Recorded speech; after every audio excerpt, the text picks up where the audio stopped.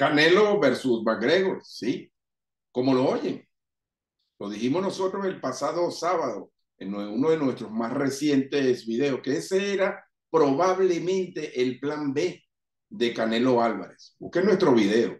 Allí le voy a poner la referencia para que ustedes vean lo que nosotros habíamos advertido, porque frente a la oferta que hizo la gente de Premier Boxing Champions para que Canelo enfrentara a David Benavides, tenía que tener una contrapropuesta, una, una respuesta contundente. Frente a Berlanga, Canelo quedaría muy mal, porque se trata de un rival que no reuniría los requisitos mínimos. Además de eso, Berlanga viene, eh, tiene que cumplir un compromiso con Jackson Krieg y no sabemos cómo va a salir. Frente a Charlo, también Charlo es un peleador prácticamente retirado que tendría que subir eh, de división.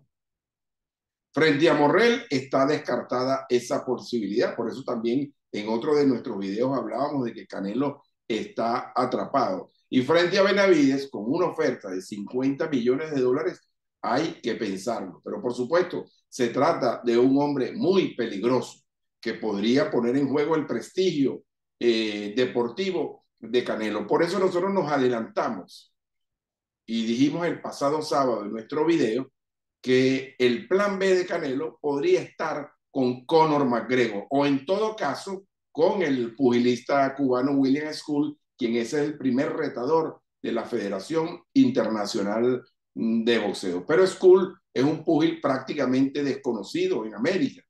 No generaría dinero, pero sería una vía de escape. De cualquier manera, el marketing podría producir eh, una promoción importante, pero no llegaría a esos niveles. Entonces, lo más lógico era pensar que Canelo tendría dentro de la gran posibilidad de conseguir dinero, porque esto es un negocio, esto es una industria, eh, la posibilidad de enfrentar frente a Conor McGregor. Pues bien, el promotor Eddie Hearns ha sacado un as bajo la manga, como lo teníamos previsto, como lo habíamos visualizado. Y ya se comunicó con el presidente de la UFC, Dana White, para explorar la posibilidad de hacer este combate. Que Conor McGregor está semi-retirado, totalmente.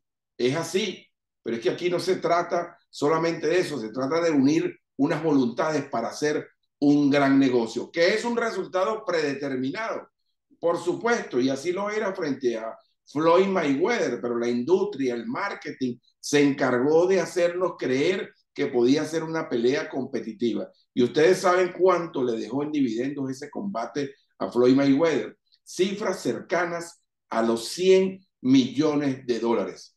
Y probablemente, si se concreta el combate con Canelo, estoy seguro que superaría la cifra de los 50 millones que está ofreciendo Premier Boxing Champions.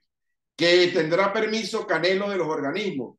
Categóricamente sí los cuatro organismos boxísticos a los cuales Canelo representan estarían de acuerdo en permitirle combatir frente a Conor McGregor, porque se trata del espectáculo, se trata de la industria del boxeo, que es un resultado predeterminado. Amigos, se comenzará alimentar el morbo de que Canelo se cansa en los últimos rounds, habría que definir en qué condiciones de peso se hace. A lo mejor eh, se dice que no van a pelear en 168, sino en 165, entonces Canelo tendría que exprimirse. En fin, a esto se le busca la vuelta. Pero es el plan B propicio para Canelo Álvarez y darle una respuesta y la justificación perfecta para decirle a la gente de Premier Boxing Champion, yo tengo una oferta mejor y a lo mejor la gente de Premier Boxing Champion se anima y hace una contraoferta. Lo cierto del caso, mis amigos, que el plan B de Canelo Álvarez está en marcha.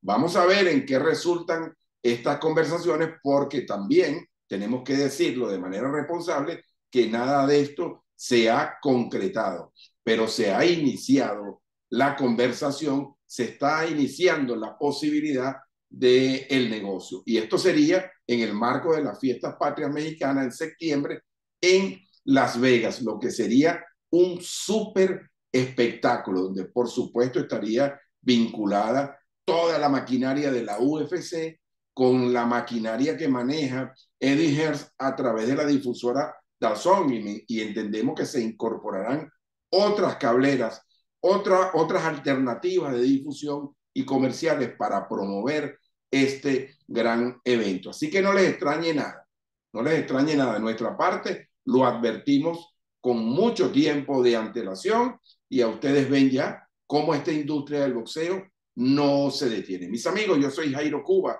y los invito a que le den like a mis videos y además a que me sigan en mi cuenta de Twitter, me consigue como arroba Jair Cuba. También puede visitar mi página web boxeoplus.com. Estoy transmitiendo desde los estudios de Mira TV en Caracas, Venezuela. Nos vemos en una próxima oportunidad.